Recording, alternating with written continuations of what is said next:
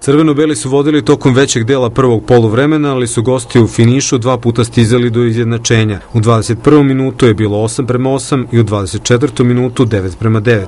Ispostavilo se da je to bio maksimum tima iz Raške. Zrenjanici su počeli tempo i na odmor otišli sa prednošću od plus 5, 15 prema 10.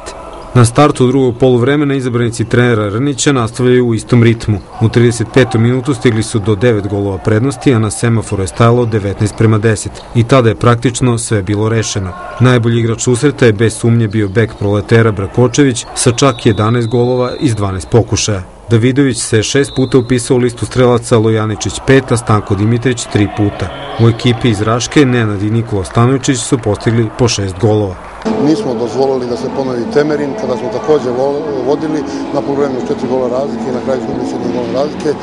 I drugo polovreme smo odigrali izuzetno maksimalno, ozbiljno. Pružili smo, pružili smo šansu svim igračima koji su imali određenu minutažu, što je najvažnije. Mom su izdržali, jer mi smo hteli da pokažemo da je onaj samo poraz protiv Temerina bio trenutak slabosti, da na domaćem parketu nemamo nameru da gubimo bodove.